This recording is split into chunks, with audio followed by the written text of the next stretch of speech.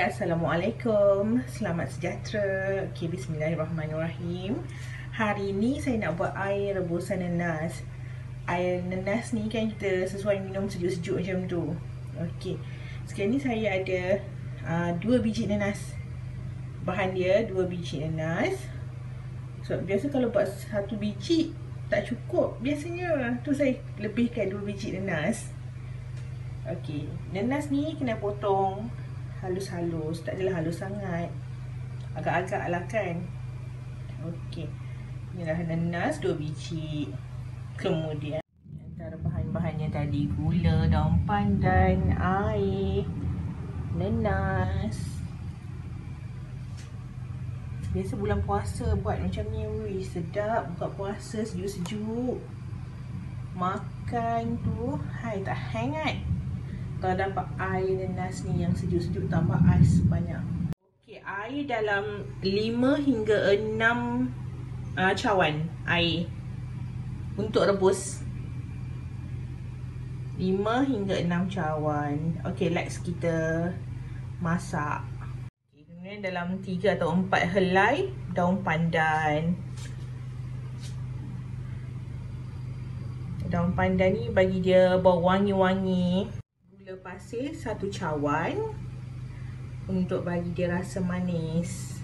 Tambah satu cawan. Jika nak manis lagi uh, lebihkan gula. Okey kita rebus semuanya. Nanas okey kita mix semuanya. Nanas gula daun pandan.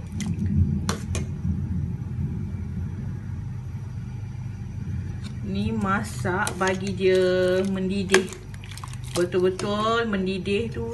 Ha, rasa agak-agak nak manis sama gula. Kalau tak nak manis cukuplah secawan biasanya.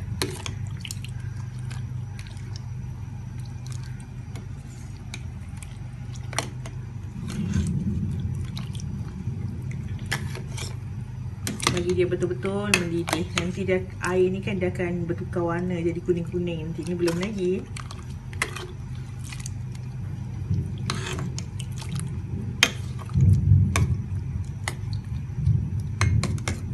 kita biarkan dia dulu dalam 10 minit. Kemudian kita akan kacau lagi. Bagi dia betul-betul meresap tu. Oi. sekarang kat luar tu hujan kilat guruh dentung mendentung Okey dah siap. Cuma kita ambil ni. Ha, letak dalam cawan. Dia panas ni tak sabar nak minum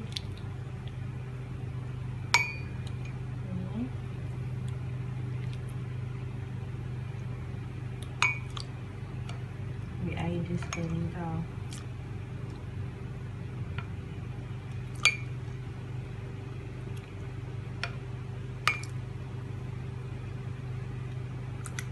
Kemudian uh, kita ambil ais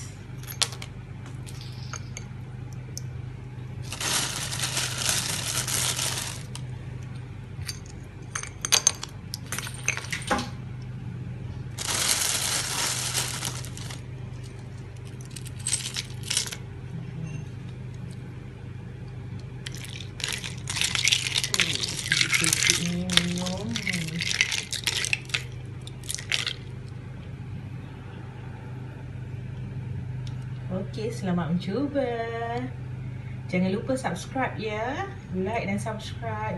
Tinggalkan komen juga. Terima kasih.